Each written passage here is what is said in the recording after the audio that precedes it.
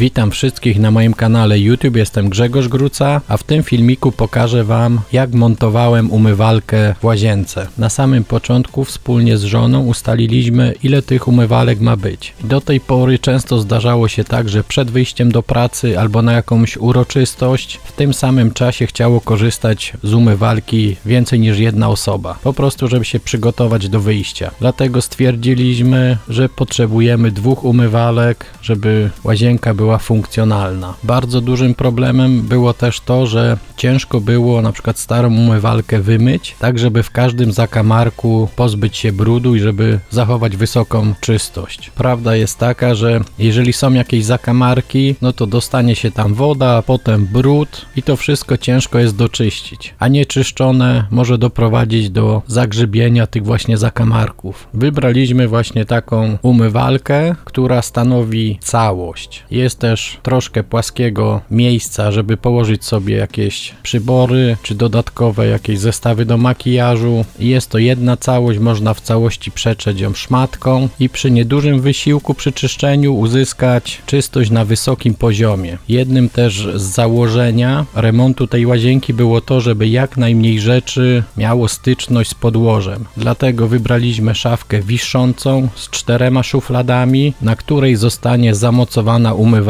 Najczęstszym pytaniem podczas montażu umywalki jest na jakiej wysokości zamontować tą umywalkę. I odpowiedź jest taka, że montuje się ją między 85 a 95 cm od posadzki i tutaj tą wysokość trzeba dobrać do wzrostu osób, które będą korzystać z tej umywalki. U mnie ostatecznie umywalka jest zamontowana na wysokości 86 cm od posadzki i tutaj jest to wymiar między górną częścią umywalki a płytkami. Na taki wymiar było zamontowane kilka umywalek w różnych łazienkach, korzystało się z nich komfortowo, dlatego postanowiliśmy w naszej łazience zamontować też na takiej wysokości. Żeby ta szafka solidnie była zamocowana do ściany, zostały przygotowane cztery uchwyty montażowe jeśli chodzi o te uchwyty, no to okazało się już przy montażu, że te dwa uchwyty w środku mogą być w kolizji z rurami. Dlatego mówię zawsze róbcie sobie zdjęcia jak położona jest instalacja elektryczna, wodna i innego typu, żebyście wiedzieli w którym miejscu możecie wiercić otwory. Tak jak tutaj widzicie ja miałem zdjęcie i było dużo prawdopodobieństwo, że gdyby te uchwyty były na tej wysokości, na której przewidział producent, no to prawdopodobnie wierciłbym się w rurkę. Dlatego postanowiłem te otwory w środku szafki przenieść w dół, w bezpieczne miejsce, gdzie mogę wykonać otwór. No i tu od razu mówię, jeżeli chodzi o przeniesienie tego punktu zamocowania do ściany w dół, no to znacznie obniżamy nośność szafki. Gdy już miałem postanowione, gdzie będą otwory, no to przy pomocy lasera wyznaczyłem sobie płaszczyznę, potem zmierzyłem odległości między otworami, przeniosłem to na ścianę, starałem się zamocować tą szafkę tak, żeby była centralnie między ścianami bocznymi. Na ścianie mam płytki gresowe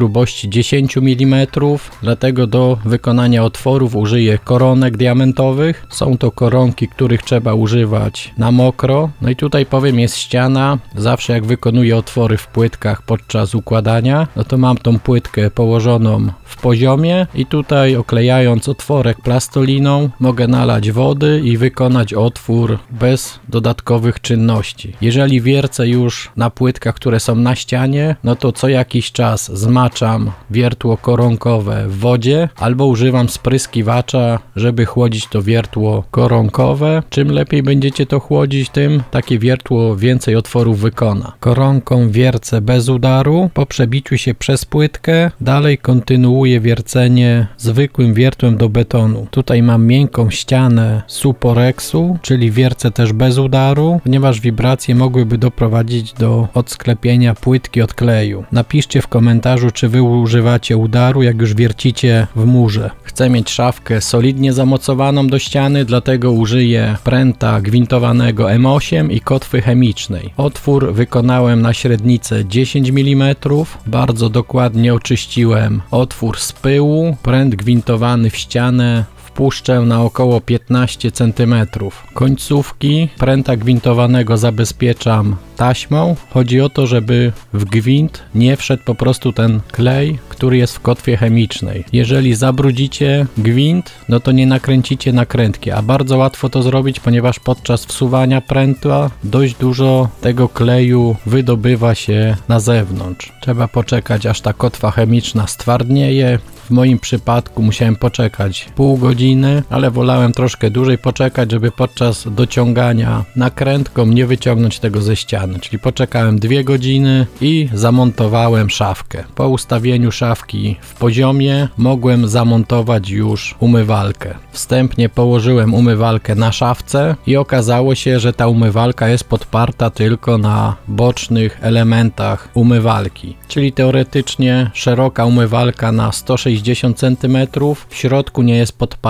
No i jeżeli chodzi o takie umywalki, to jest ceramika. Jeżeli ktoś mocniej się oprze na środku takiej umywalki, jest duże prawdopodobieństwo, że ona pęknie. Dlatego stwierdziłem, że podeprę tą umywalkę na środku, czyli przygotowałem sobie takie dwa kawałki płyty wiórowej, które skręciłem ze sobą, żeby były na grubość właśnie tych elementów, które są w szafce. Przykręciłem do nich taki wspornik, konstrukcyjny. Ustawiłem umywalkę tak, jak ma już być docelowo zamontowana. Przyłożyłem te dwa przygotowane elementy tak, żeby dotykały dolnej części umywalki na środku i przykręciłem wkrętami do szafki. I w ten oto sposób uzyskałem podparcie zlewozmywaka na środku. No i tutaj powiem szczerze, producent takiego zestawu powinien przewidzieć coś takiego i powinno to być już w zestawie. A najlepiej, żeby taka umywalka właśnie w całości na tej krawędzi z przodu była oparta o jakiś blat. Dlatego dobrze się zastanawiajcie przed zakupem, żebyście potem nie musieli kombinować, jak poprawnie zamocować taką umywalkę. I teraz pytanie do specjalistów. Ja planuję umywalkę zamocować przy pomocy silikonu do ściany na całej powierzchni. Dodatkowo użyję też silikonu, aby zamocować umywalkę na środku i po boku. Napiszcie w komentarzu, czy taki montaż wystarczy. Żeby żeby silikon dobrze złapał do umywalki i do płytek. Oczyściłem elementy i odtłuściłem. Bardzo ważną rzeczą jest to, żeby sprawdzić jakim środkiem możecie odtłuszczać umywalkę i płytki. Bo może się okazać, że na przykład umywalka jest wykonana z jakiegoś tworzywa, które nie toleruje na przykład jakichś substancji chemicznych. Na umywalkę, na część, która będzie przyklejona do ściany, nałożyłem dość grubo silikonu. Zrobiłem to podobnie tak, jak nakłada się na przykład na przednią szybę, gdy montujemy w samochodzie, czyli wysoki taki pasek, który po przyciśnięciu ma się rozpłynąć. Silikon nałożyłem też na tą część w środku, zabezpieczając ją też przed wilgocią i na bokach. No i zacząłem montować umywalkę. Położyłem ją w miejscu, docisnąłem do ściany, tak żeby silikon między umywalką a ścianą wypłynął. Tak jak tutaj widzicie, nie wszędzie ilość tego silikonu była wystarczająca, dlatego dołożyłem silikonu, skropiłem go czystą wodą i nadmiar zebrałem taką specjalną szpatułką do formowania silikonu. Tutaj w tym przypadku użyłem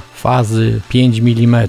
Podczas nakładania silikonu przy umywalce zawsze nakładam tego silikonu więcej ponieważ potem jak będę go ściągał tym gumowym przyrządem, no to żeby ładnie uformować trapez wewnętrzny, no to muszę zebrać materiał. Gdyby tego materiału nie było wystarczająco, no to będą przerwy i będzie to bardzo nieestetycznie wyglądało. Później jest ciężko dołożyć ten silikon, ponieważ jeżeli spryskam to wodą, no to silikon może już do tego spryskanego wodą silikonu nie złapać. Spryskanie wodą ułatwia zbieranie tego silikonu, ponieważ gdybym nie spryskał, no to naniosę cienką warstwę na płytki i na umywalkę i potem trzeba będzie to czyścić. A jeżeli skropię to wodą, no to silikon nie złapie do płytek i do umywalki. Następnym etapem było podłączenie umywalek do odpływu. No i tutaj wcześniej też musicie zaplanować wysokość tego odpływu, tak żeby nie było kolizji z wysuwanymi szufladami. Ja wcześniej przeanalizowałem wysokość tych odpływów, dlatego nie miałem problemu z podłączeniem. Mały problem pojawił się z podłączeniem korka klik-klak. Już na samym początku nie spodobało mi się, że ten gwint tak daleko wystaje i że najprawdopodobniej będą przecieki między tym gwintem zewnętrznym a nakrętką. Moje obawy sprawdziły się, pomimo tego, że odwracałem tą uszczelkę w jedną, w drugą stronę, dalej były przecieki. Dlatego postanowiłem zamocować tą nakrętkę na silikonie i jeżeli to nie zda egzaminu, no to będę musiał to wyrzucić i zamocować coś innego. No i w tym przypadku silikon pomógł.